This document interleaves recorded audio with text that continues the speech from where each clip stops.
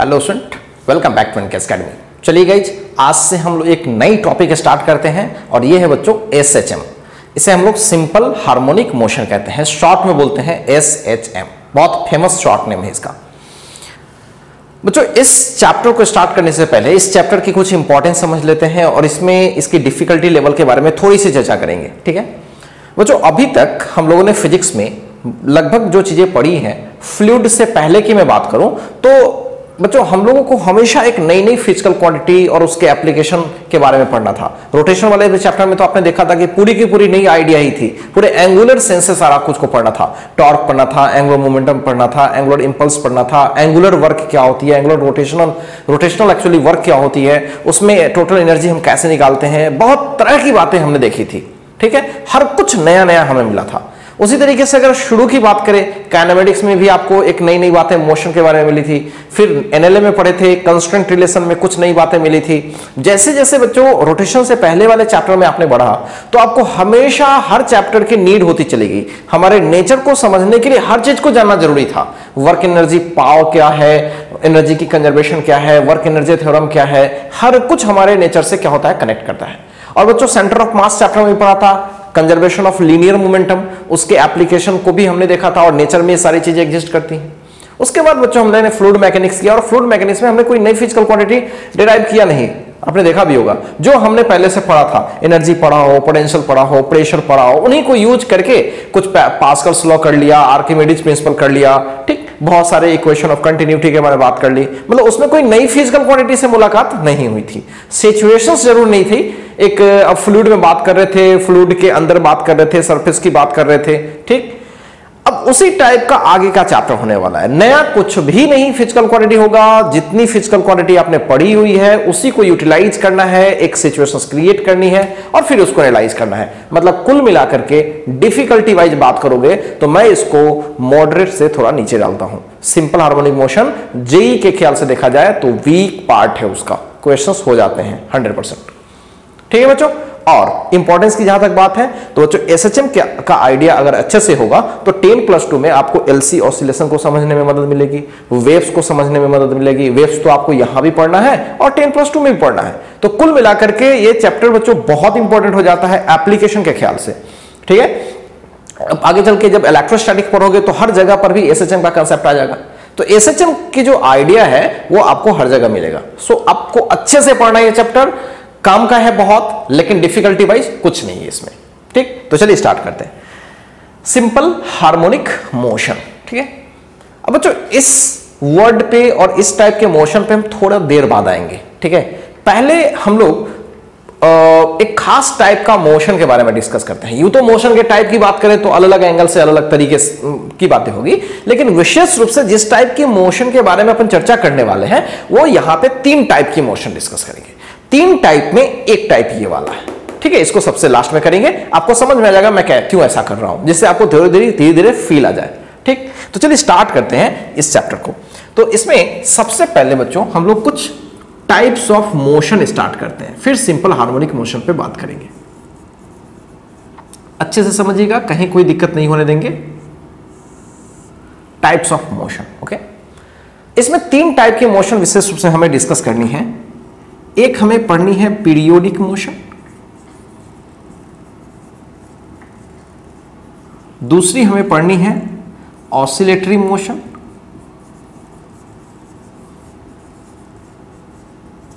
और तीसरी जो हमें पढ़नी ही है S H M simple harmonic motion मैं शॉर्ट लिख देता हूँ। Simple harmonic motion okay periodic motion क्या है? पीरियोडिक मोशन को हार्मोनिक मोशन भी कहते हैं। तो चलिए एक एक करके डिस्कस करते हैं। तो सबसे पहले हम लोग डिस्कस करेंगे पीरियोडिक मोशन या इसे सिंपली हम लोग हार्मोनिक मोशन कहते हैं। ठीक है? ये है क्या एक्चुअली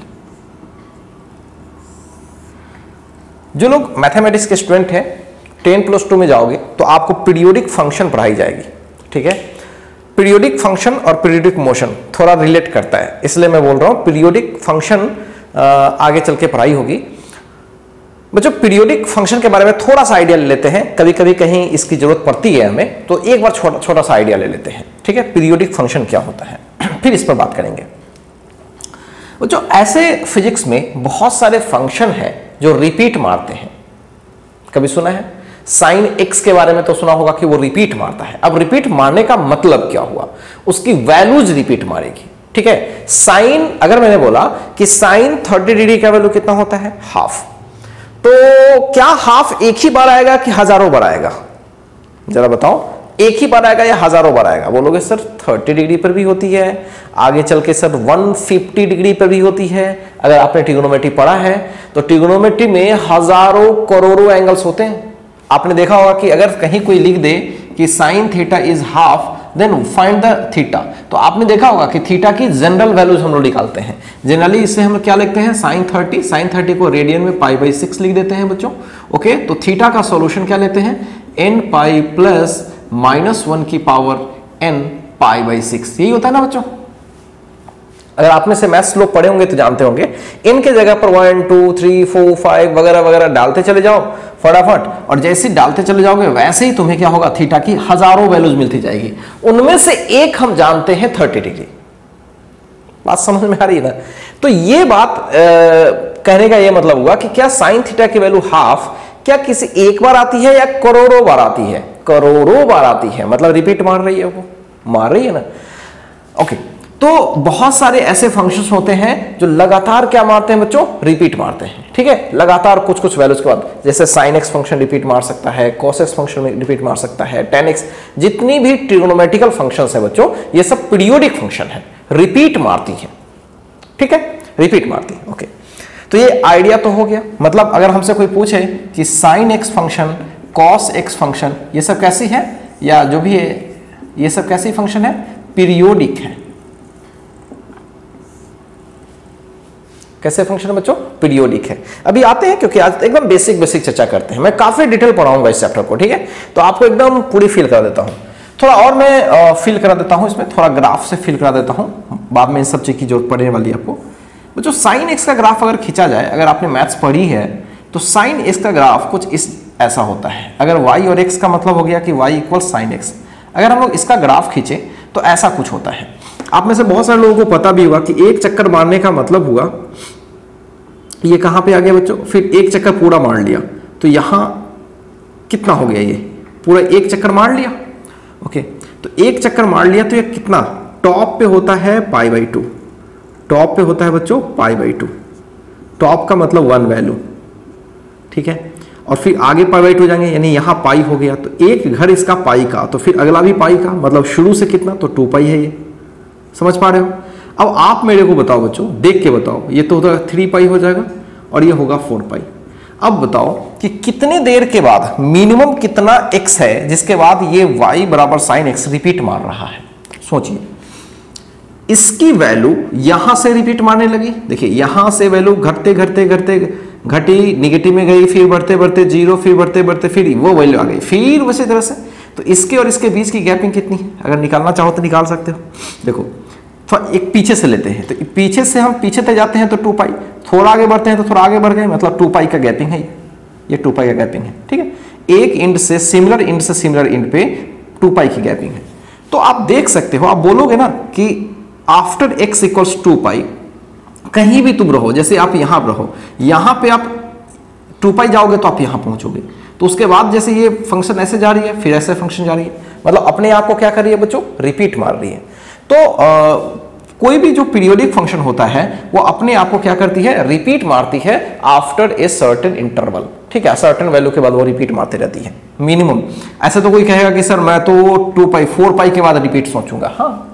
लेकिन फोर पाई के बाद रिपीट मार फोर पाई अगला फोर पाई तो टू पाई पे भी तो रिपीट मार रही है. पाई पे रिपीट नहीं मार रही है बच्चों. पाई पे रिपीट नहीं मार रही ध्यान से देखना.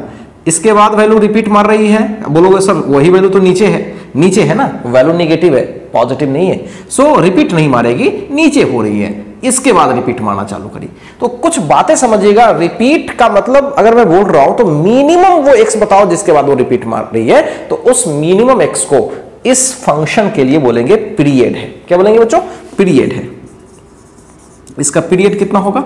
टू पाई इसका पीरियड कितना होगा? टू पाई ठीक? तो ये छोटी छोटी बातें हैं जो आपको समझना चाहिए। और एक बात और सुनना। ये टू पाई के बाद रिपीट मारती है। इसीलिए आपने देखा होगा कि sine two pi plus x में कर दूँ तो ये साइन एक्स ही आती है। आएगी? ऑब्वियसली आएगी। अच्छा टू पाई पर रिपीट मारती है तो फोर पाई भी रिपीट मारेगी फाइव पाई सिक्स पाई पर भी रिपीट मारेगी, ठीक है? कोई दिक्कत नहीं है। तो इन सारे पर साइन एक्स ही आ जाती है। समझ पा रहे हो? तो ये एक छोटी सी फील है, वो आपको आना चाहिए, ठीक? उसी तरीके से बच्चों कॉस का ग्राफ अगर मैं खींचूं तो कॉस का ग्राफ टॉप से चालू होता है। अगर सिंपल ग्राफ खींचूं तो कॉस अगर एक्स है सिंपल तो यहाँ से टॉप से चालू होकर के नीचे आती है, फिर और नीचे, फिर ऊपर और ये टॉप पे। फिर वापस यहाँ से ऐसे नीचे। टॉप ज़ीरो डिग्री पर मैक्सिमम होती है, ठीक? पाई बाई टू पर क्या होती है? ज़ीरो आ जाती है। तो यहाँ से पाई बाई टू तो फिर उतना ही गैपिंग लिए पाई बाई टू यानी यहाँ पाई हो जाएगा। तो इतना पाई हो गया तो भाई ये हो जाएगा, फिर यहाँ से यहाँ जाइए। यहाँ तक पाई तो फिर ये गैपिंग पाई मतलब टू पाई, शुरू से शुरू से बात करें तो टू पाई। तो देखिए, यहाँ से यहाँ वापस आ गया, रिपीट मारेगा, फिर वापस ऐसे होगा, रिपीट मारेगा। तो ये भी टू पाई के बाद रिपीट मारता है। तो ध्यान रखिएगा वाई कॉस अगर कॉस एक्स हो जाए तो ये भी कैसा फ़ंक्शन है बच्चों? पीरियोडिक फ़ंक्शन है, ठीक है? और इसकी भी पीरियड कितनी है रिपीट करने की? भाई, इसकी भी टू पाई है। ध्यान रखिएगा। इसमें भी अगर कोई बोले कि अगर cos two pi plus x लिख लें तो क्या होगा? कॉस सिक्स से होगा। ये सब तो आपको पता ही है। तो ये एक छोटा आइडिया दिया पीरियोडिक फ़ंक्शन का, ठीक? इसको कॉपी करना नहीं है। अगर करना चाहते हैं तो आप कर लीजिएगा, ठीक है? लेकिन मैं इसको हटाऊँगा क्योंकि हमें एक्चुअल में ये एक जनरल आइडिया देना था आपको। तो हमें पीरियोडिक फ़ंक्शन के बारे में नॉलेज हो गई।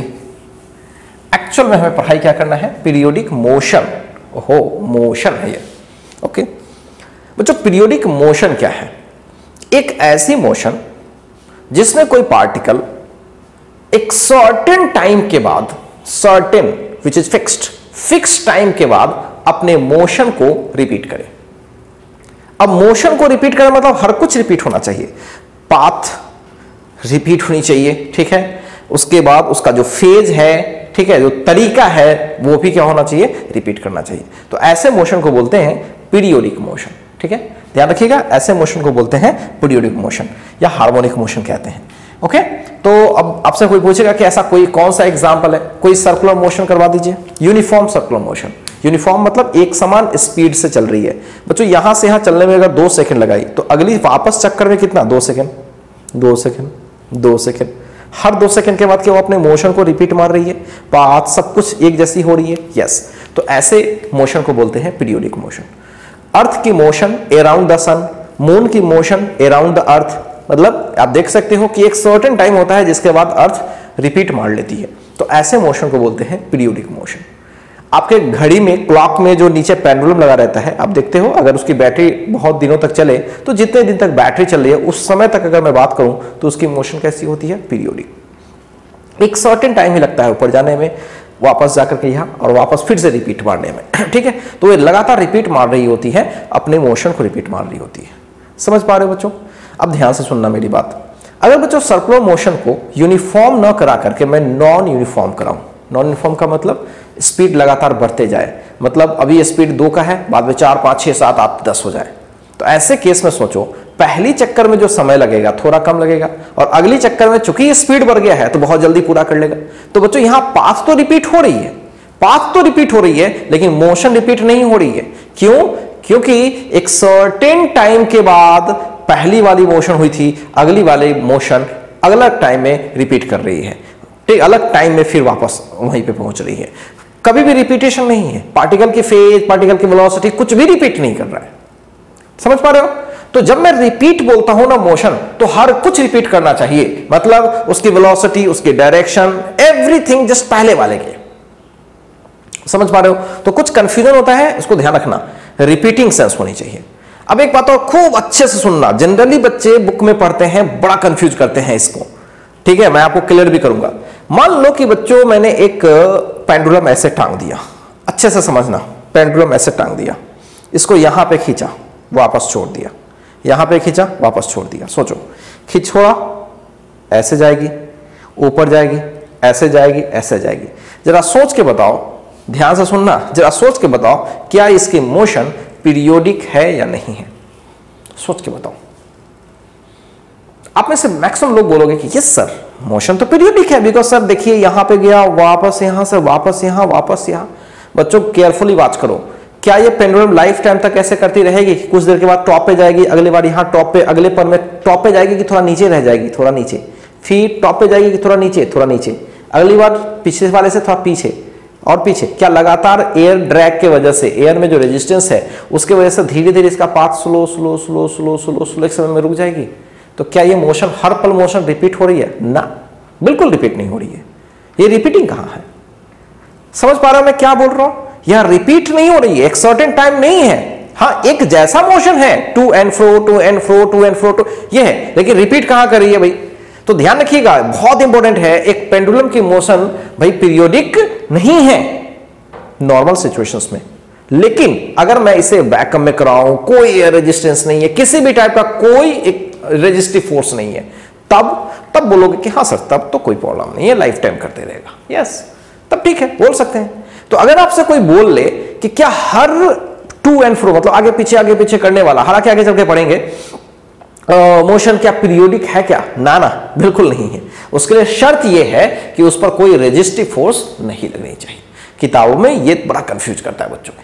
ठीक है? सब पढ़ेंगे भी डिटेल में पढ़ेंगे। फ़िलहाल तो अभी पीरियोडिक की बात कर रहे थे। So what is periodic motion बच्चों? एक ऐसी मोशन जिसमें कोई पार्टिकल अपने मोशन को, अपने मोशन को एक सर्टेन टाइम के बाद क्या करे? रिपीट मारे। तो ऐसे मोशन को बोलते हैं पीरियोडिक मोशन ठीक है? तो चलिए लिखते हैं इसके बारे में। Such type of motion in which a particle या बॉडी जो भी है repeat its motion after fixed interval of time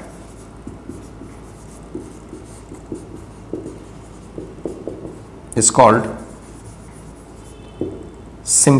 periodic motion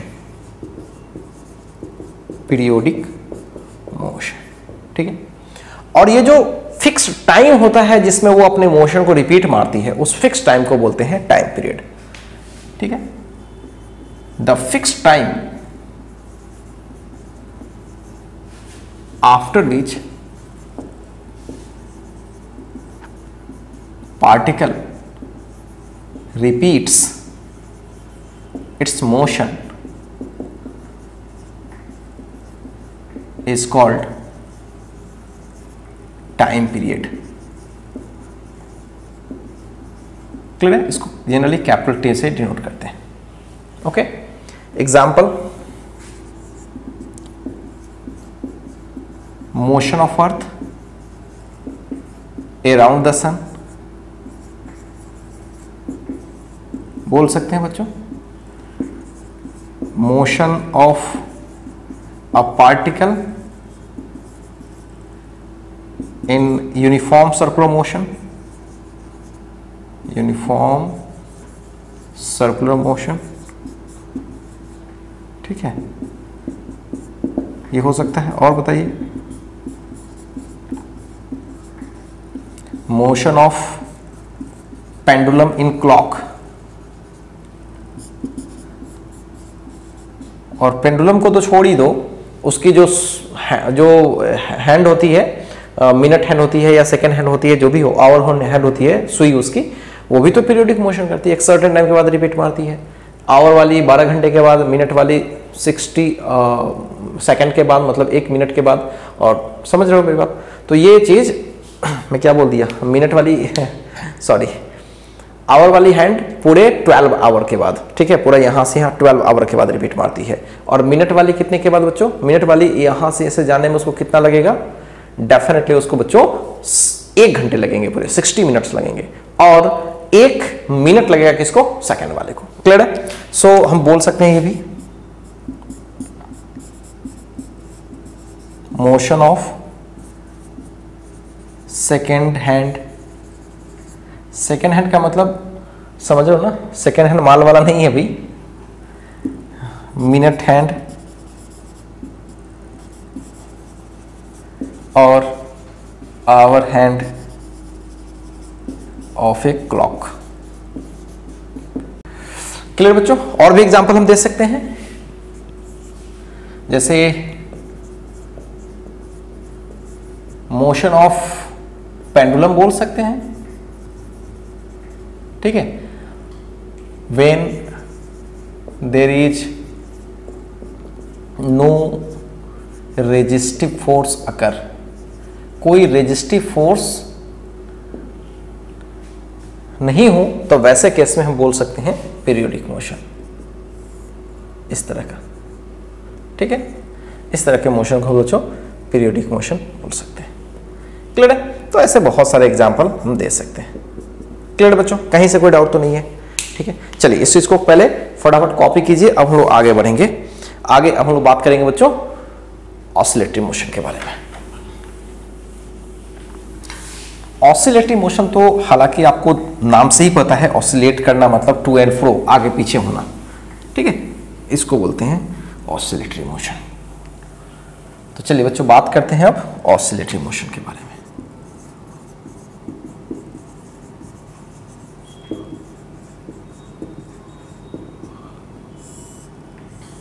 ये ऑसिलेटरी मोशन क्या है?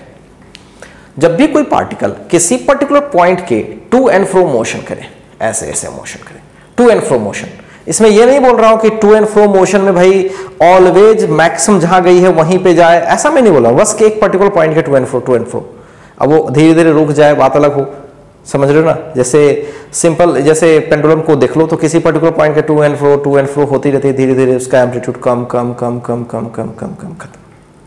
ये भी हो जाएगा, कोई दिक्कत नहीं। समझ पा रहा मैं क्या बोल रहा हूँ? तो ध्यान रखना ऑसिलेटरी मोशन क्या है बच्चों?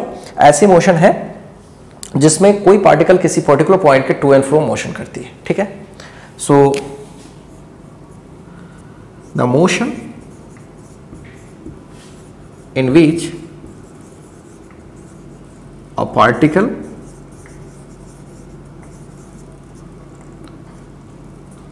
moves to and fro. To and fro एक प्रभाव से। The motion in which a particle moves to and fro मतलब आगे पीछे अबाउट अ फिक्स्ड पॉइंट ठीक है? Is called oscillatory motion okay example बहुत है भाई जैसे मोशन ऑफ़ पेंडुलम ही देख लो। ठीक है? मोशन ऑफ़ पेंडुलम देख लो। दूसरा और कुछ देख लो, जैसे motion of spring pendulum spring pendulum का भी वैसा ही मोशन है। जैसे मैं बता रहा हूँ, जैसे यहाँ पे स्प्रिंग लगा दिया टेबल रख दिया ऐसे स्प्रिंग लगा दिया, यहाँ पे ब्लॉक रख दिया। ठीक है? और इसको खींच करके छोड़ दिया। तो ऐसे ऐसे करती है ना? खींच करके छोड़ोगे तो ऐसे ऐसे ऐसे ऐसे करती रहती है। ओके और भी बहुत सारे एग्ज़ाम्पल है। इसमें तो ढेर सारे एग्ज़ाम्पल है। जैसे मैं आपको बता दूँ, जैसे ये वाटर डाल दिया। वाटर है। डाल दिया। और यहाँ पे किसी ब्लॉक को डाल दिया जो फ्लोट कर रही है। ठीक है? इसको थोड़ा सा बच्चों डिप्रेस कर दिए इसको। इसको हल्का सा ऊपर से नीचे डिप्रेस कर दिया डिप्रेस करके छोड़ दिए हल्का सा डिप्रेस करके छोड़ दिए क्या ऊपर नीचे ऐसे ऐसे करती है? कैसा मोशन है? ऑसिलेटिव मोशन है। ओके और भी मैं आपको एग्ज़ाम्पल बताता हूँ, थोड़ा समझिएगा अच्छे से। जैसे मान लीजिए कि ये चार्ज है। बच्चों ध्यान से देखिएगा। ये प्लस क्यू चार्ज है और ये भी प्लस क्यू चार्ज है। ठीक? आगे चल के पढ़ेंगे हम लोग। जब टेन प्लस टू में चलेंगे तो इलेक्ट्रोस्टैटिक्स में इस पर सवाल भी बनते हैं, बढ़िया। ठीक है? अभी मैं उतना डिटेल नहीं कर रहा हूँ, बस अब इस थोड़ा समझाने की कोशिश कर रहा हूँ। यहाँ पे बच्चों में एक प्लस क्यू चार्ज ले लिया। क्या ले लिया? प्लस क्यू चार्ज अब इस प्लस क्यू चार्ज को बीच में रखा फ़िलहाल। तो बीच में रखा तो इतना तो पता है कि जितना फोर्स इस पर ये इधर लगाएगी, उतनी ही फोर्स ये इस पर इधर लगाएगी। ठीक है? लेकिन जैसे ही आप इसको यहाँ पे खींच दोगे, यहाँ खींचोगे तो ये वाली फोर्स कुछ ज़्यादा लगाएगी। और ये थोड़ा दूर हो गया तो थोड़ा कम लगाएगी। तो अब बताओ, इसके ज़्यादा लगाने से क्या है वापस बैक आएगा? बिल्कुल आएगा। तो जैसे ही इसको ऐसे खींचोगे ना छोड़ोगे तो ये वापस बैक आ जाएगी और रफ्तार पकड़ने की वजह से वो पीछे तक खसक जाएगी। और जैसे पीछे आ जाएगा तो ये ज़्यादा फोर्स मारेगा। ये ज़्यादा फोर्स मारेगा तो फिर ये आगे बढ़ेगी। मतलब इस तरह से इसका मोशन उसके बाद होने लगेगा इस लाइन पर। ठीक है? तो मैं ए बी लेता हूँ। तो motion of plus Q on A B क्या कहलाएगा? क्या कहलाएगा बच्चों? ऑब्वियसली uh, क्या कहलाएगा? ऑसिलेटिव कहलाएगा। किस पॉइंट के अबाउट ओ पॉइंट के अबाउट ठीक है?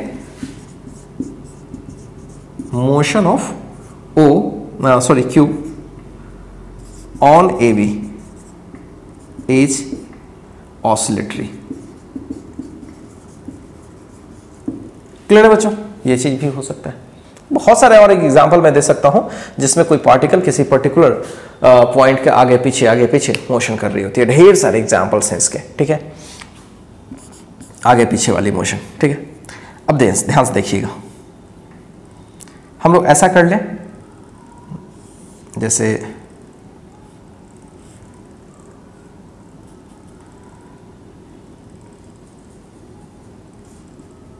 एक रॉड है। ये स्प्रिंग है। बच्चों, इसको मैं थोड़ा सा ऐसे खींच दूँ नीचे तक डिप्रेस कर दूँ, छोड़ दूँ, क्या आगे पीछे आगे पीछे ऐसे करेगी? ऐसे ऐसे ऐसे ऐसे करेगी। तो इस पर्टिकुलर पॉइंट के इर्द गिर्द इर्द गिर्द ऐसे टू एंड फ्रो मोशन कर रही है। तो इस जो पार्टिकल है यहाँ पे, उस पार्टिकल के मोशन को हम क्या बोलेंगे बच्चों? टू एंड फ्रो मोशन बोलेंगे। तो कैसा मोशन होगा? डेफिनेटली वो भी क्या होगा? ऑसिलेटरी होगा। समझ पा रहे हो? तो ढेर सारे एग्ज़ाम्पल मैं दे सकता हूँ। अब यहाँ पे कुछ बातें हैं इंपॉर्टेंट वो समझना है। क्या ऑसिलेटरी मोशन पीरियोडिक होगा। Oscillatory motion all oscillatory motions are not necessarily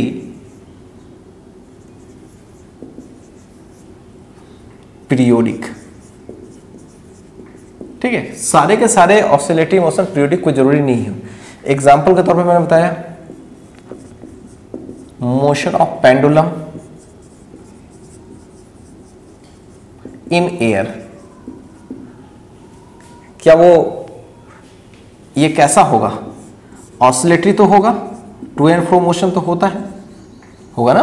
but not periodic, क्योंकि लगातार इसकी जो पाथ होगी वो बदलती जाएगी, टाइम भी बदलता चला जाएगा। okay. ये हो गया। और भी एग्ज़ाम्पल दे देता हूँ। अब इसी का मैं उल्टा कर दूँ। Motion of pendulum in vacuum बच्चों, अगर मैं वैकम में करा दूँ तो क्या हो जाएगा? ऑसिलेटरी होगा? हाँ ऑसिलेटरी तो होगा ही। ऑसिलेटरी तो होगा। और क्या पीरियोडिक होगा? यस पीरियोडिक भी होगा। इसमें कोई प्रॉब्लम नहीं है। दोनों होगा। समझ पा रहे हो बच्चों? तो छोटी छोटी चीज़ें हैं जिसको समझना है हमें। तो फ़िलहाल बच्चों, अभी हम लोगों ने क्या क्या कर लिया? पीरियोडिक मोशन के बारे में समझ लिया ऑसिलेटरी मोशन के बारे में समझ लिया कि ऑसिलेटरी मोशन होता क्या है ओके अब बच्चों बात करेंगे सिंपल हार्मोनिक मोशन ठीक है? नेम सिंपल क्यों पड़ा है? इस पर भी एनालाइज करेंगे, इसको भी अच्छे से एनालाइज करेंगे। और साथ साथ सिंपल हार्मोनिक मोशन कैसी मोशन है, जो हमें इस चैप्टर में विशेष रूप से पढ़नी है, ठीक है? सब चीज़ को देखेंगे, पहले इन सब चीज़ों को कॉपी कीजिए, फिर बच्चों हम आगे बढ़ेंगे। चलिए बच्चों, अब बात करते हैं हम लोग सिंपल हार्मोनिक मोशन के बारे में। सिंपल हार्मोनिक मोशन क्या है? तो पहले मेरी बात समझिएगा। ऐसी to and fro motion to and fro motion मतलब ऑसिलेटरी मोशन ठीक है ऑसिलेशन वाला। तो ऐसी टू एंड फ्रो मोशन जिसमें पार्टिकल की एक्सलरेशन डायरेक्टली प्रोपोर्शनल टू उसके डिस्प्लेसमेंट के बराबर हो। मेरी बात ध्यान से सुनना। कोई भी particle to and fro motion कर रही है, ठीक है, हमें पता था। लेकिन टू एंड फ्रो करने वाली पार्टिकल में मान लीजिए किसी खास टाइप का एक्सलरेशन है, ठीक है? तो उस एक्सलरेशन की वैल्यू ध्यान सुनेंगे, उस एक्सलरेशन की value directly proportional to X होनी चाहिए, ठीक है? तो ऐसे केस में उस पार्टिकल को बोलेंगे, वो सिंपल हार्मोनिक मोशन कर रही है। अभी सीधे सीधे बात ऐसे समझते हैं, ठीक है?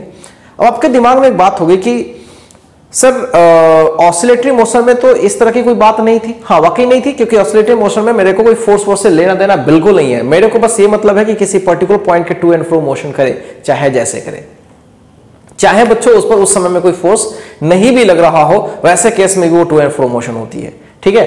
जैसे मान लीजिए कि कोई दो वॉल है, यहाँ एक बॉल को फेंक दिया गया है फ्रिक्शनलेस है, गई, टकराई, उसी वक्त उस पर फोर्स लगा। टकराने की वजह से इधर आई जाते जाते जाते जाते फिर टकराई, वापस आई। तो सेंटर वाले पॉइंट के अबाउट तो टू एंड फ्रो मोशन तो वो कर ही रही है। तो ये तो ऑसिलेटरी हो जाएगा। लेकिन ये एस के बारे में बात नहीं करेंगे। एस के बारे में उन्हीं सब बात होगी जो टू एंड फ्रो मोशन कर रही है, लेकिन उस पर लगातार फोर्सेस लग रही होगी और वो जो फोर्स होगी बच्चों, वो डायरेक्टली प्रोपोर्शनल टू उसकी डिस्प्लेसमेंट होगी। ठीक? फोर्स के बारे में, या फिर फोर्स जब डायरेक्टली प्रोपोर्शनल टू डिस्प्लेसमेंट है तो एक्सलरेशन भी डायरेक्टली प्रोपोर्शनल टू डिस्प्लेसमेंट होनी चाहिए, ठीक है? जब डिस्प्लेसमेंट ना हो उसकी, अब कहाँ से डिस्प्लेसमेंट ये भी हम लोग देखेंगे, अब डिस्प्लेसमेंट ना हो, तभी फोर्स ज़ीरो होने चाहिए एक्सेलरेशन ज़ीरो होनी चाहिए। ये एक कंडीशन है सिंपल हार्मोनिक मोशन में, ठीक है? तो अभी मोटे मोटे तौर पर क्या बोलोगे? अगर कोई पूछे तो simple harmonic motion to and fro motion है मतलब ऑसिलेटरी मोशन है, ठीक है? लेकिन इसमें क्या होती है? इसमें पार्टिकल पे हर पल एक फोर्स लगनी चाहिए, एक केस को छोड़ करके पार्टिकल पर हर पल एक फोर्स लगनी चाहिए और वो, या या उसकी एक्सेलेशन होनी चाहिए और उसकी जो एक्सेलेशन होनी चाहिए, वो हमेशा डायरेक्टली प्रोपोर्शनल टू एक्स होनी चाहिए। ठीक है? पर सिंपल भाषा में इसको ऐसे लिखते हैं। तो सच oscillatory motion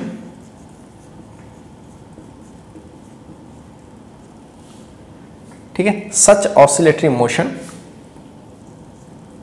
in which particle या फिर ऐसे डायरेक्ट लिखते हैं acceleration of the particle is directly proportional to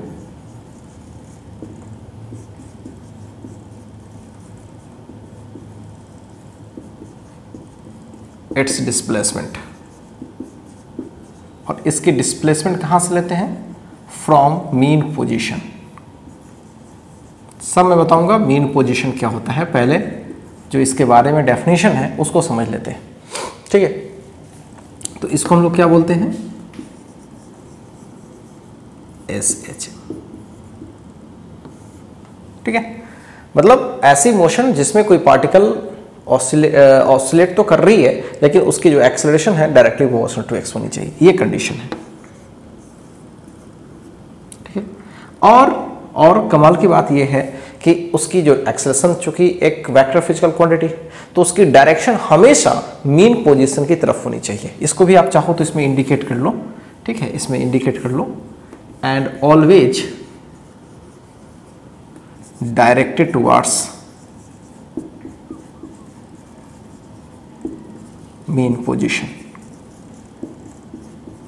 okay is called S H SHM okay? हाँ तो मैंने क्या बोला भाई? कि जो कंडीशन है A must be proportional to X तो डिस्प्लेसमेंट के डायरेक्टली प्रोपोर्शनल ठीक है? हमेशा। क्लियर है? अब जो इस पर हम लोग विशेष बात करेंगे, ठीक है? कि चीज़ें क्या होती है। जब इसको बराबर करते हैं, ठीक है? एक्चुअली मैं आपको एक खास तरीके से बताता हूँ चीज़ों को। A directly proportional to x इसका मतलब है कि एफ़ विल एल्सो भी डायरेक्टली प्रोपोर्शनल टू एक्स लेकिन ये एक्स बच्चों माइनस लगाते हैं।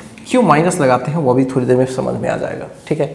डायरेक्शन को लेकर के, क्योंकि पार्टिकल को जब आगे लाओगे तो उस पर जो फोर्स लगेगी, जो पीछे लाने की जो फोर्स है, क्योंकि कोई पार्टिकल आगे बढ़ती है तो उस पर फोर्स हमेशा पीछे लगेगी, तभी तो वापस लौट के आएगा। अगर कोई पार्टिकल पर आगे फोर्स लग रहा है हमेशा तो वो हमेशा आगे ही चलती चली जाएगी। तो एस करने वाले पार्टिकल के लिए हमेशा दिमाग में रखिएगा। अभी मैं सब कुछ फील कराता हूँ, थोड़ा फील भी कर लीजिए।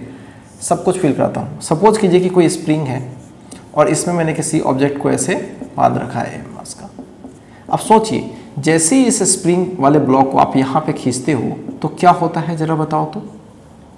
बच्चों, आप देखोगे कि ये आगे एक्सटेंड कर गई इस एक्स पे। तो इस पर फोर्स किधर लगा? पीछे। कितना फोर्स लगा? कि एक्स के बराबर लगा। ये तो आपने स्प्रिंग में पढ़ा है। तो आपने खींचा आगे, आपने खींचा आगे। फोर्स लगी पीछे। तो भाई आगे खींच करके छोड़ोगे या आगे जब जा रही होगी तो फोर्स तो पीछे लग रही होगी। अच्छा जब ये यहाँ पहुँचेगी, जब इससे खींच के छोड़ोगे तो जब ये यहाँ पहुँचेगी बच्चों, जब ये यहाँ पहुँचेगी, सोचो। तो ऐसे केस में फिर जब ये यहाँ पे पहुँचेगी, उसके बाद स्पीड एक्वायर कर लेगी। जैसे ही स्पीड एक्वायर कर लेगी ठीक है? तो फिर यहाँ पे जाएगी तो फोर्स किधर लगेगा? डिस्प्लेसमेंट के जस्ट क्या लगेगा? अपोजिट लगेगा। डिस्प्लेसमेंट के क्या लगेगा? अपोजिट तो अब गौर से सुनो, जब पार्टिकल यहाँ से यहाँ जा रही थी तो डिस्प्लेसमेंट इसकी यहाँ इस साइड में थी, इस साइड में थी, लेकिन फोर्स किधर लग रहा था? इस साइड में। जब यहाँ भी रहेगी तो अभी भी डिस्प्लेसमेंट तो आगे ही है ना। फोर्स किधर लग रही है? पीछे। जब ये पीछे चला जाएगा, पीछे चला जाएगा तो डिस्प्लेसमेंट इसकी इधर हो जाएगी। लेकिन जैसे ही पीछे चला जाएगा तो डिस्प्लेसमेंट इसके इधर, लेकिन फोर्स किधर लगेगा बच्चों इधर? जब स्प्रिंग को कंप्रेस करोगे तो फोर्स ऐसे लगेगा। तो आप देख रहे हो कि हर जगह फोर्स और डिस्प्लेसमेंट एक दूसरे क्या हो रहा है? अपोजिट हो रहा है। इसलिए हम लोग क्या करते हैं बच्चों? इसको माइनस लगाते हैं, जो कि वैक्टर में लिख रहे हैं। ठीक है? अब बच्चों ध्यान से सुनना। जब हम इसको बराबर करते हैं तो एक कांस्टेंट आता है, जिसको हम लोग के बोलते हैं। ठीक है? Where k is known as force constant where K is known as force constant okay इसे हम फोर्स कांस्टेंट कहते हैं, ठीक है? हम लोग फिर से एक्सेलेशन पे आएँगे, अभी डोंट वरी यहाँ तक तो ठीक है? नाउ अब फिर से इसको ऐसे करते हैं बच्चों। अगर मैं f को थोड़ी देर के लिए लिख दूँ, m इंटू ए या फिर यहाँ साफ़ से बताता हूँ। F बराबर क्या है बच्चों? माइनस के इंटू एक्स वैक्टर नहीं लग रहा हूँ। क्या m इंटू ए लिख सकता हूँ? माइनस के एक्स ए को लिख सकता हूँ माइनस के बाई एम और के बाई एम को हम एक कांस्टेंट लेट कर ले रहे हैं ओमेगा स्क्वायर फिर omega square equals K by M कोई बुराई नहीं है। तो ओमेगा अगर कभी ज़रूरत महसूस होगा तो क्या लिखोगे? के बाई एम इस टर्म को हमेशा हम ओमेगा बोलेंगे। ठीक है? तो अगर एक्सलेशन कोई पूछे ओरिजिनली क्या होती है एसएचएम करने वाली पार्टिकल का तो ये होती है माइनस ओमेगा स्क्वायर एक्स और ये ओमेगा क्या होती है? Root under K by M के जहाँ क्या है? फोर्स कांस्टेंट है। एम क्या है? उस पार्टिकल की मास है जो एसएचएम कर रही है। ओके तो ये है बच्चों।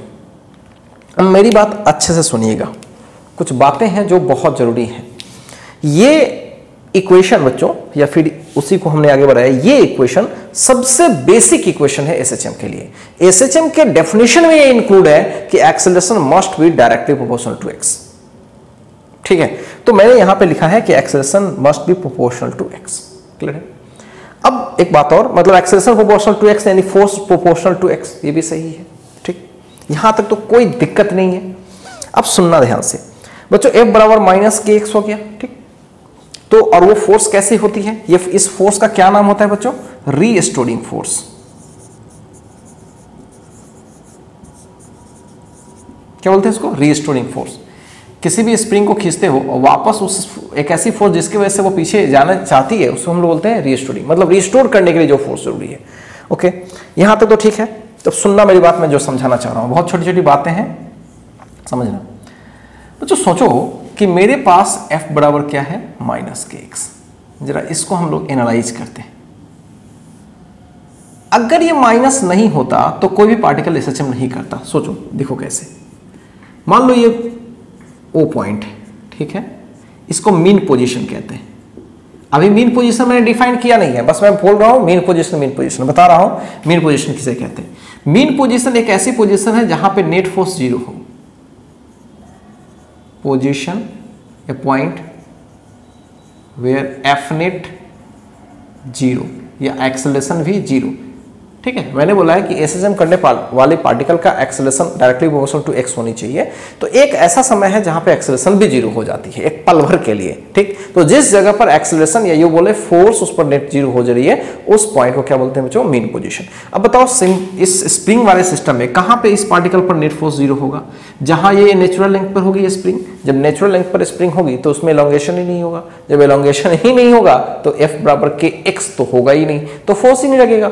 मतलब स्प्रिंग वाले सिस्टम में हम बोल सकते हैं कि स्प्रिंग इस वाले सिस्टम में स्प्रिंग जहाँ नेचुरल लेंथ पे रहती है, इस वाले में होरिजेंटल वाले में वर्टिकल वाले में नहीं, वो सब देखेंगे अभी।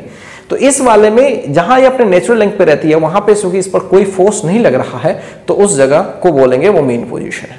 Okay now let's move F बराबर के एक्स के बारे में बात मैं कर रहा था कि बच्चों, अगर मान लीजिए कि मैं माइनस के एक्स नहीं लिखता तो क्या लफड़ा होता? प्लस के एक्स लिखता तो क्या होता? सपोज़ कीजिए कि पार्टिकल का डिस्प्लेसमेंट एक्स है। फोर्स डिस्प्लेसमेंट इधर है और फोर्स भी इधर लग रही है। तो क्या पीछे कभी लौट के आएगी? किसी को फोर्स आगे है और डिस्प्लेसमेंट भी आगे कभी पीछे लौट के आएगी? इसलिए यहाँ पे क्या लगाते हैं बच्चों? माइनस एक तो फील ये है। दूसरी फील मैं आपको बताता हूँ।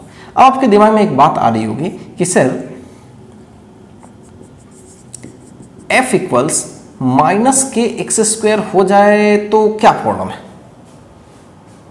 क्या ये भी एसएचएम करेगी? या एसएचएम कहते हैं, क्या ये टू एंड फ्रो मोशन करेगी? बच्चों के मन में बहुत तरह की बातें आती है कि सर माइनस के एक्स की पावर अगर मैं टू कर लूँ तो क्या ये टू एंड फ्रो मोशन करेगी?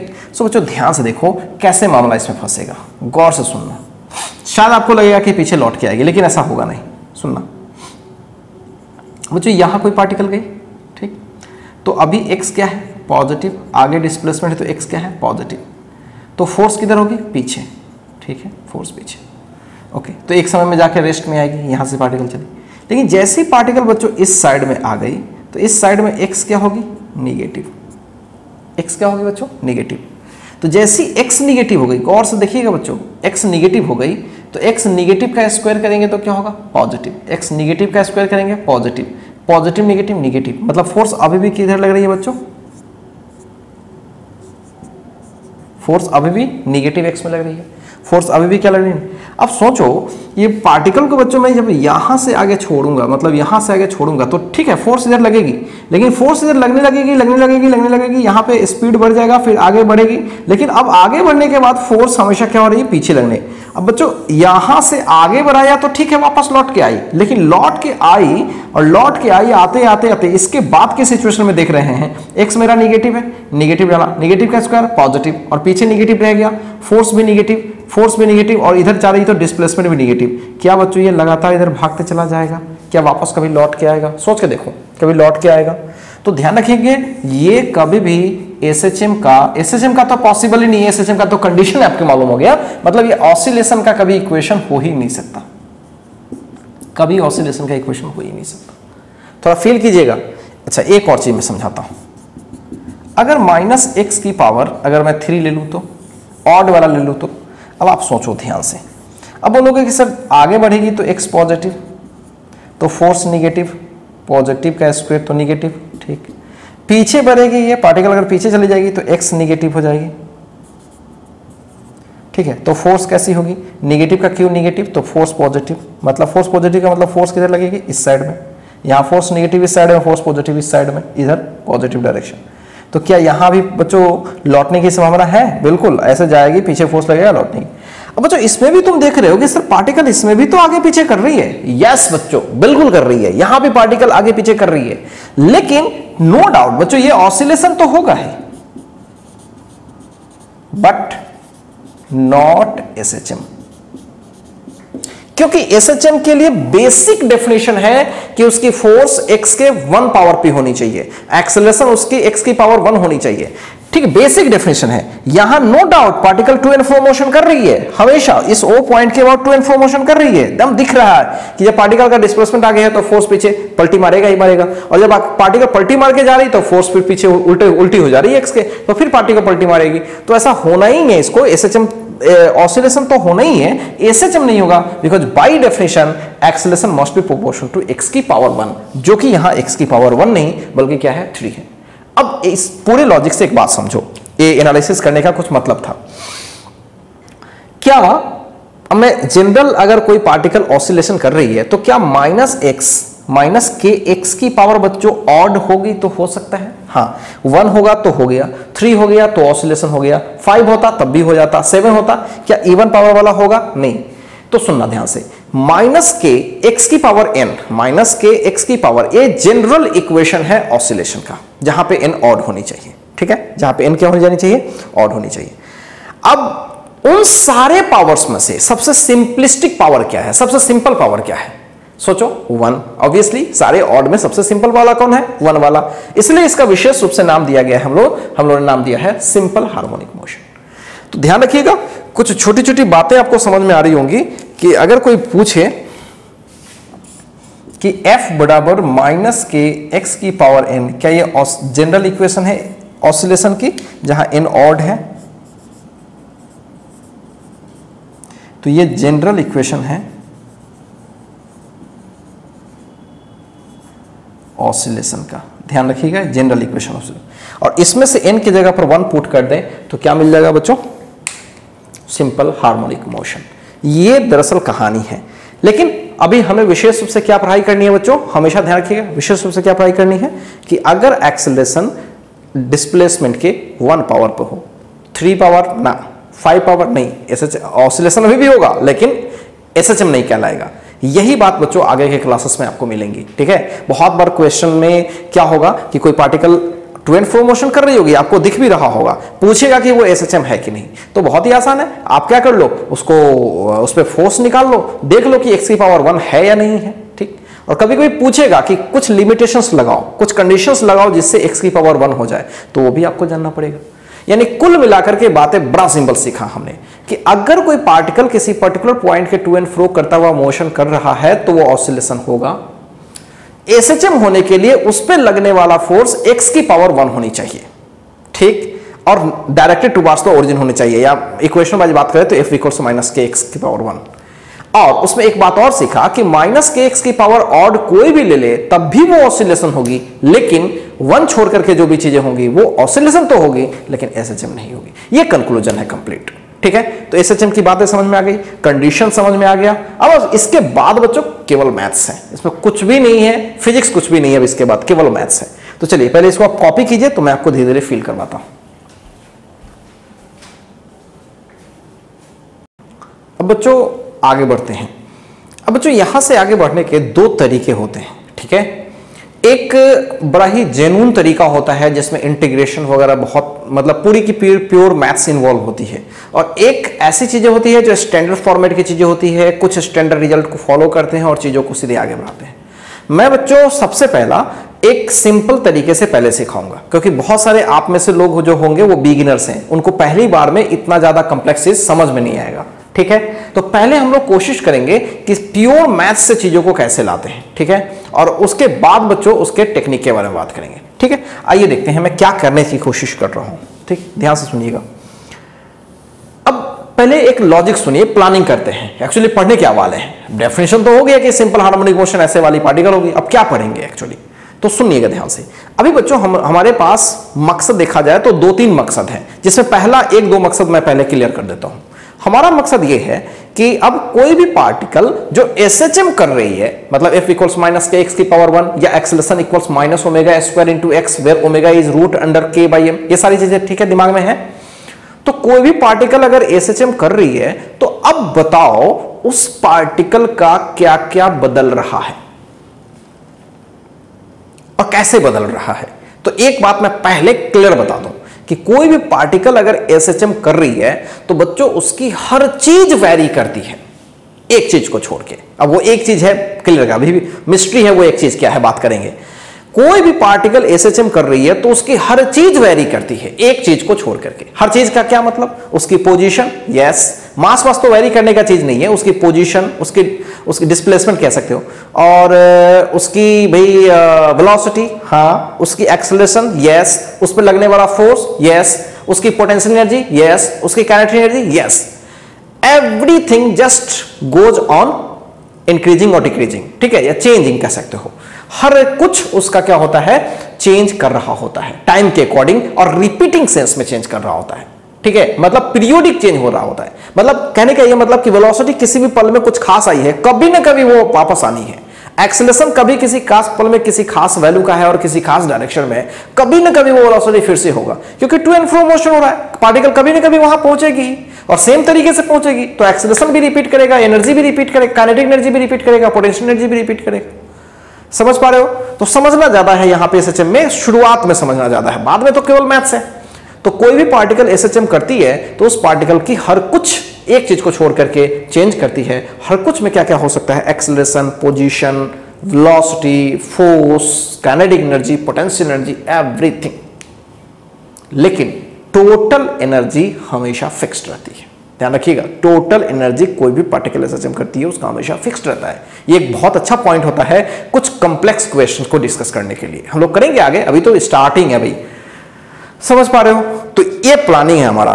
तो भाई, अब इसमें क्वेश्चन तो खुद बनता है कि सर जब आपने बताया कि इसकी एक्सलेशन हर पल चेंज हो रही है पोजीशन हर पल चेंज हो रही है तो सर किसी भी समय में आप क्या उसकी कैनेटिक एनर्जी बता सकते हो? यस बता सकता हूँ। किसी भी समय में सर क्या उसकी एक्सलेशन बता सकते हो? यस हर कुछ मैं आपको बता सकता हूँ।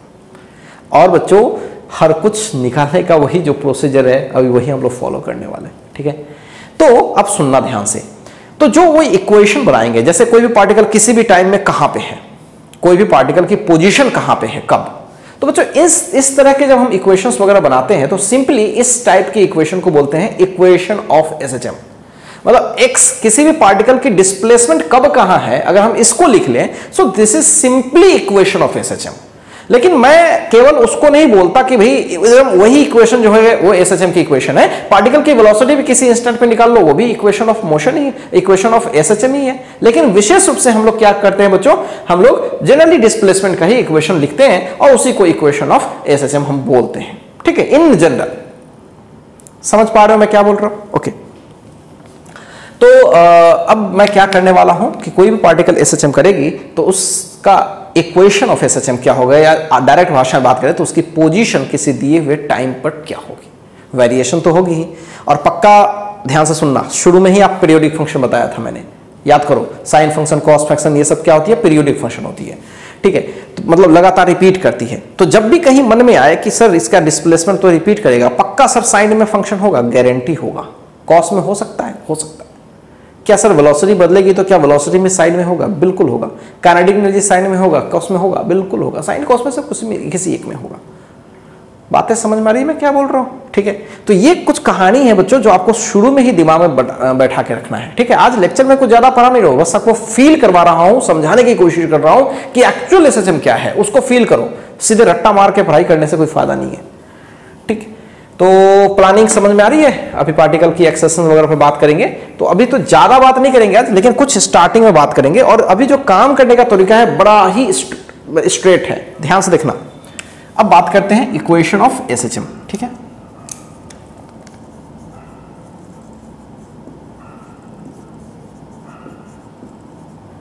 इक्वेशन ऑफ़ एसएचएम ध्यान से देखिएगा।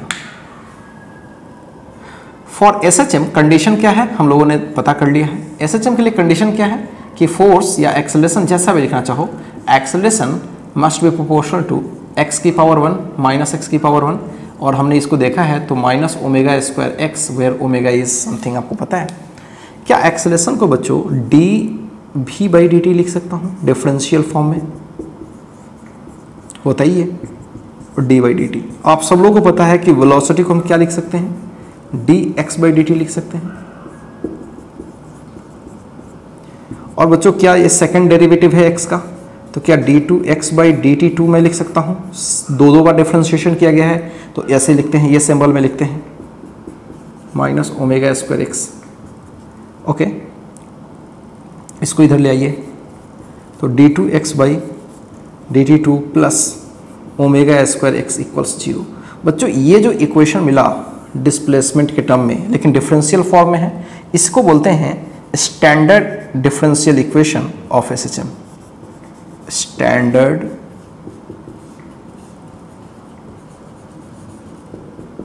differential equation of S H M ध्यान रखिएगा, ये standard differential equation of S H M ठीक है? हमेशा याद रखिएगा D two X by D T two plus omega square X equals zero इस पर विशेष और भी बात करेंगे। अभी फ़िलहाल सिंपली समझ गया D two X by D two plus omega square X zero clear बच्चों? कहीं से कोई डाउट तो नहीं है। ओके ये चीज़ समझ में आ गई आपको। अब सुनना। हमने क्या प्लानिंग किया था? बच्चों, हमने प्लानिंग किया था कि पार्टिकल की डिस्प्लेसमेंट चाहिए, किसी भी इंस्टेंट में। हमने डिस्प्लेसमेंट निकालने की कोशिश की। लेकिन ये कुछ और आ गया। मतलब ये टी और एक्स में रिलेशंस तो है, लेकिन कैसी रिलेशन है? डिफरेंशियल रिलेशंस है। और हम चाहते हैं कि हमें कोई एक एक्स और टी में एक रिलेशन मिले साइन कॉस वाला में मिले, क्योंकि एक्स रिपीट कर रही है। ठीक? तो अब ध्यान से देखिएगा, कैसे हम निकालते हैं डिस्प्लेसमेंट पार्टिकल का? Displacement of a particle at a given instant या इसी को बोलेंगे equation of S H M इसी को बच्चों हम लोग equation of S H M भी बोलेंगे। ठीक है? जनरल इक्वेशन जो होती है, कैसे करें? एक तो निकाला जाता है बच्चों, ठीक? एक तो निकाला जाता है इसको और एक डायरेक्ट लिखा जाता है। अब डायरेक्ट कैसे लिखा जाता है वो भी थोड़ी बात में चर्चा करता हूँ। D two X by D T two plus omega square X equal zero बच्चों, ये एस एच एम की डिफरेंशियल इक्वेशन है। ठीक है, ये डिफरेंशियल इक्वेशन है एस एच एम का। अगर आप आगे की मैथ्स पढ़ोगे, आगे की मैथ्स का मतलब टेन प्लस टू की भी नहीं ग्रेजुएशन के पार्ट सेकेंड और थर्ड के बारे में बात कर रहा हूँ। अगर आप आगे की मैथ्स पढ़ोगे तो ये सेकेंड ऑर्डर का इक्वेशन है। ठीक है? अब बच्चों सेकेंड ऑर्डर की जब कोई इक्वेशन होती है, ठीक है तो इसका जो सॉल्यूशन होता है, ये हमें यहाँ नहीं पढ़ना है। इसका सॉल्यूशन हमें हायर क्लास में पढ़नी है। बस हमें उसके फॉर्मेट को याद रखनी है कि ऐसे इक्वेशन के सॉल्यूशन क्या होते हैं। ठीक है? तो मैं डायरेक्ट लिखू अगर solution of equation one is given by देखिए, हर डिफरेंशियल इक्वेशन का एक सॉल्यूशन होता है। समझने की कोशिश कीजिए। कोई भी डिफरेंशियल इक्वेशन होता है, अथवा साइड में समझा देता हूँ। जैसे D Y by D X या फिर D Y by D T बराबर मान लो टी स्क्वायर ठीक है? या फिर टू टी अब बच्चों, हर डिफरेंशियल इक्वेशन का अपना एक सॉल्यूशन होता है। तो d y by d t बराबर टू टी आ गया मेरे पास, या यहाँ पे d x by d t कुछ भी, ये एक डिफरेंशियल इक्वेशन है। अब बच्चों, इस डिफरेंशियल इक्वेशन का भी अपना एक सॉल्यूशन होगा। अब क्या होगा, मैं आपको बताता हूँ। इस डिफरेंशियल इक्वेशन का एक सॉल्यूशन होगा टी स्क्वायर एक सॉल्यूशन देखो एक्स और टी में एक रिलेशन निकाल रहे हैं ना? अगर इस टी को, इस एक्स के जगह पर यहाँ डालोगे तो d t square by d t करोगे। डिफरेंशिएशन टी स्क्वायर का टी के रेस्पेक्ट टू टी यानी सेटिस्फाई कर रहा है। अच्छा एक ही सॉल्यूशन नहीं होगा, इसका और भी सॉल्यूशन होगा। चलो, ये भी एक सॉल्यूशन होगा। इसको इसमें डाल के देखो। डिफ्रेंसिएशन करो। तो टी स्क्वायर को डाल के देखोगे तो आ जाएगा टू टी प्लस ज़ीरो आ जाएगा, देखो, क्या टू टी वापस आ जाएगा। अब बोलोगे सर इसमें तो मैं हज़ारों लिख दूँगा। Nine five six minus one कुछ भी। मतलब इस डिफरेंशियल इक्वेशन के क्या बच्चों हज़ारों सॉल्यूशंस हैं? हम्म हैं। मतलब इसका कोई ना कोई तो सॉल्यूशन होगा ना। सिमिलरली ऐसे डिफरेंशियल इक्वेशन के भी अपने एक सॉल्यूशन होते हैं जो यहाँ नहीं पढ़ना है। इसको एक्सेप्ट कीजिए पहले। आगे तो पढ़ना ही है काफ़ी डिटेल पढ़ोगे आगे। सो so, इस इक्वेशन की अगर हम सॉल्यूशन निकाले मैथ से तो डायरेक्ट मैं लिख रहा हूँ गिवन वाई एक्स इक्वल्स एक कोई constant A sine omega t omega यही वाला ओमेगा और टी यही वाला टी ए कोई नया चीज़ है। अब प्लस हम फाइव ये भी कांस्टेंट है। ये दोनों कांस्टेंट है, ठीक है? A and five are constants बाद में इस कांस्टेंट का विशेष नाम करेंगे, लेकिन फ़िलहाल कांस्टेंट मान के चलते हैं। तो बच्चों, ये एक जनरल इक्वेशन होती है। और कमाल की बात है, यहाँ प्लस भी हो सकता है और माइनस भी। तो चलो प्लस ही लिखता हूँ। फाइव को मैं बोलता हूँ कि ये प्लस भी हो सकती है और माइनस भी हो सकती है। ओके फाइव प्लस भी हो सकती है माइनस भी। खैर। तो इस डिफरेंशियल इक्वेशन का बच्चों, ये एक क्या हो गया? सॉल्यूशन हो गया, जो कि जनरली हम लोग किसमें लिखते हैं? साइन में और यहाँ पे फाइव करते हैं। अब ए का विशेष नाम क्या होता है? इसे हम लोग बोलते हैं एम्पलीट्यूड और फाइव को बोलते हैं इनिशियल फ़ेज़ सबके पीछे लॉजिक है, क्यों बोलते हैं? अब एम्पलीट्यूड का मतलब आप में से बहुत सारे लोग मैथ्स पढ़े होंगे तो कोई भी जैसे मैथ्स में अगर लिखते हो वाई इक्वल साइन थीटा इसका मैक्स वैल्यू क्या होता है बच्चों? वन होता है ना? ठीक है पिक वैल्यूज़ पिक का मतलब कि टॉप ऊपर का चाहे टॉप नीचे का. पिक वैल्यू क्या होता है? वन या माइनस वन अगर मैं टू साइन थीटा लिख दूँ तो इसका मैक्स वैल्यू क्या हो? तो बोलोगे, सर, इसका तो वन हो गया, पीछे टू है तो सर, इसका टू और प्लस माइनस टू होगा. ठीक? अब देखो, इस, ये भी तो एक टिग्रोमेटिकल है और साइन वाला ही है। मैं पूछूँ कि एक्स की मैक्सिमम वैल्यू क्या होगी? तो बोलोगे, सर ए होगी, चाहे माइनस ए होगी। होगी ना भाई? तो ये जो वैल्यू बता रही है, वो एक्स की सबसे ज़्यादा से ज़्यादा वैल्यू बता रही है। और जब भी कोई पार्टिकल एसएचएम करती है, सब पढ़ेंगे आगे, जब भी कोई पार्टिकल एसएचएम करती है तो एसएचएम करने के दरमियान, ऐसा तो नहीं है कि वो कहीं भी जाकर के दूर चली जा रही हो, एक फिक्स जगह पर जाकर के लौट के आती है। तो मैक्सिमम डिस्प्लेसमेंट मीन पोजीशन से होती है। मीन पोजीशन क्या होता है? जहाँ पे नेट फोर्स ज़ीरो होती है। तो मैक्सिमम पोजीशन पे जहाँ पे होती है मैक्सिमम डिस्प्लेसमेंट पे जहाँ पे होती है, उस मैक्सिमम डिस्प्लेसमेंट को एम्पलीट्यूड कहते हैं। तो दिख भी रहा है कि सर ये एसएचएम की इक्वेशन है मैथमेटिक्स लगाते हैं सर तो एक्स की मैक्सिमम वैल्यू सर ए होने वाली है, क्योंकि साइन फ़ंक्शन कॉस फ़ंक्शन का मैक्सिमम वैल्यू वन होता है। तो इसलिए सही भी है कि सर एम्पलीट्यूड होगा। फिर बोलोगे सर ये इनिशियल फ़ेज़ क्या है? बच्चों इनिशियल फ़ेज़ क्या है? कोई भी साइन थीटा या कॉस थीटा जब हम बनाते हैं तो ये इस पूरे टर्म को हम आर्गुमेंट कहते हैं। क्या बोलते हैं बच्चों? आर्गुमेंट क्लियर समझना? इस टर्म को हम आर्गुमेंट कहते हैं। ओमेगा टी प्लस फाइव को हम लोग क्या बोलते हैं? आर्गुमेंट और ये पीरियोडिक फ़ंक्शन है। इसको हम कभी कभी हार्मोनिक फ़ंक्शन भी कहते हैं। सो so, ये आर्गुमेंट है। अब बताओ ये जो आर्गुमेंट है बच्चों वेरिएबल है? हाँ आर्गुमेंट वेरिएबल है क्योंकि में टाइम है तो भाई वेरिएबल है। अब बताओ इस आर्गुमेंट की शुरुआत की वैल्यू क्या होगी? आर्गुमेंट वेरिएबल है हाँ। अब शुरुआत की वैल्यू क्या होगी? शुरुआत का मतलब t equals zero initial value क्या होगी? तो जैसे टी बराबर ज़ीरो डालोगे तो पूरा आर्गुमेंट की वैल्यू क्या होगी? This what is this argument what is this argument तो at t equal to zero की मैं बात करूँगा तो इसके आर्गुमेंट की वैल्यू हो जाएगी फाइव की। तो इसलिए इस फाइव को बोलते हैं इनिशियल फ़ेज़ एक्चुअली इसको फ़ेज़ ही बोलते हैं। आर्गुमेंट बोल लो या एस एच एम में इसको हम लोग क्या बोलते हैं? फ़ेज़ मैथमेटिकली क्या होता है बच्चों? फ़ेज़ होता है। ठीक है? तो बताओ, ये फाइव बच्चों इनिशियल फ़ेज़ है ना? इस पूरे टर्म में टी बराबर ज़ीरो डालेंगे तो बचेगा कौन? फाइव इसलिए इसको बोलते हैं इनिशियल फ़ेज़ समझ पा रहे हो? तो अभी चीज़ों को सीधे सीधे सीखो। ये तो हुआ, यहाँ से डिफरेंशियल इसमें तो कुछ ज़्यादा है ही नहीं, आप एक बार देख लो अच्छे से। मैंने बोला कि मैथमेटिक्स में ऐसे इक्वेशन का सॉल्यूशन होता है। मैं समझाने की कोशिश करी है यहाँ से कि अगर मेरे पास कोई एक डिफरेंशियल इक्वेशन ऑलरेडी है तो हर डिफरेंशियल इक्वेशन का अपना एक सॉल्यूशन होता है। उस आधार पर हम कह सकते हैं, उस आधार पर हम कह सकते हैं कि इसका भी अपना एक क्या है बच्चों? एक सॉल्यूशन होगा और सॉल्यूशन इसमें बहुत सारा था t square t square plus four t square plus nine ऐसे कुछ कुछ इसका सॉल्यूशन भी हो सकता है, ठीक है?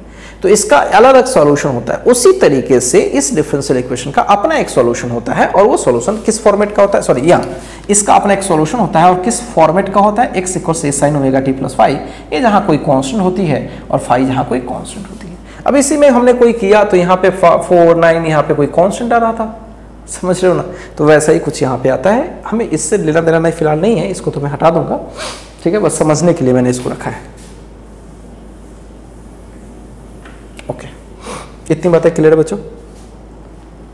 तो ये है आपका, ठीक है? एस एच एम का दो इक्वेशंस एक कौन सा इक्वेशन डिफरेंशियल इक्वेशन और दूसरा कैसा है बच्चों? एक लीनियर टाइप का है। और दोनों को हम इक्वेशन ही बोलते हैं एस एच एम की। ठीक है? अब यहाँ पहुँचने के लिए एक तो रास्ता मैथ से है डायरेक्ट कर लो, कोई टेंशन नहीं है। आगे को रेफर कर लो। बच्चों, एक तरीका यहाँ भी है थोड़ा सा घूम के आना होगा और हम लोग इस चीज़ को भी प्रूफ कर सकते हैं। ठीक है, मैं करूँगा डोंट वरी मैं करूँगा, दोनों तरीके से करूँगा, आपको पूरी फील करवा दूँगा, ठीक है? लेकिन हालाँकि उन सब चीज़ों से कोई लेना देना नहीं है। सवालों के बनाने में भाई ये इक्वेशन ज़रूरी है, ये इक्वेशन ज़रूरी है, हमें उससे कोई मतलब ही नहीं है। लेकिन पढ़ रहे हो तो उसका एक फील होना ज़रूरी है। ठीक है? तो जो आज के वीडियो सेशन में मैं ज़्यादा बात नहीं करूँगा ठीक है? आज आप, आपका एकदम से फंडामेंटल क्लास था बेसिक क्लास था। पहले इसको क्लियर कीजिए समझिए चीज़ों को फिर अगले वीडियो सेशन से हम लोग इस पर बहुत अच्छी अच्छी बातें करेंगे इसको फिर एक बार हाईलाइट करेंगे और फिर आगे बढ़ेंगे। पहले तो एक बार रिकैप कर लेंगे और फिर आगे बढ़ेंगे। तो क्लियर है बच्चों? मिलते हैं नेक्स्ट वीडियो सेशन में। Okay thank you